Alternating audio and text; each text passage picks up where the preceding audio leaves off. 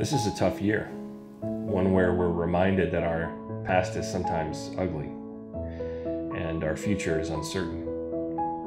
I think uh, we could all use something to hold on to. Those of you that know me or Allegory know that stories are something that I reach for at times like this, so here's a story. On March 25, 1965, Dr. Martin Luther King stepped in front of a microphone on the steps of the Alabama State Capitol building in Montgomery. He and thousands of others had just marched for five days from Selma. And on that day, Dr. King said something incredibly profound. How long?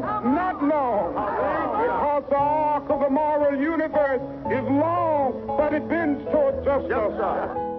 What a powerful lens this offers us to view history through. To Dr. King, the story of human history is one of slow but unstoppable progress toward a justice that transcends all of the differences that separate us. And each of us has an opportunity to participate in that. The building Dr. King chose to speak in front of that day was highly symbolic. And in 1985, it was renovated, and this board was removed We've held onto this board for eight years.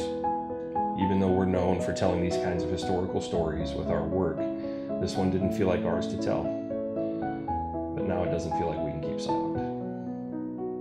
So here it is the Arc Edition. We created an arc shaped inlay using the wood reclaimed from the Alabama State Capitol building against a backdrop of 5,000 year old bog oak. The cap screws onto the front for a secure, airtight fit post to the back of the pen with a quick tension fit.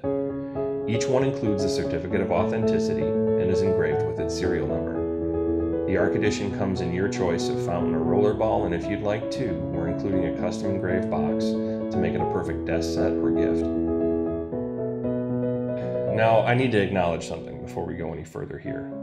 Um, while our team is going to be making these pens, this is not my story to tell. It doesn't belong to me, and I want to make sure that we're not the only beneficiaries of this project. So we're going to try to give back to the community, and you can find the details for how we're going to do that on the project page. I never intended Allegory to be a political company. Um, I think it's a citizen's job, not a company's job, to do things like support specific policies or candidates. Um, but we're definitely a company of values. And one of those values is that everyone gets to tell their own story. So, this project is a celebration of our current cultural moment, however messy it is, uh, that we are moving forward along that long moral arc that Dr. King talked about toward a future where more people get to tell their own story. And we're really thankful that you're on this journey with us.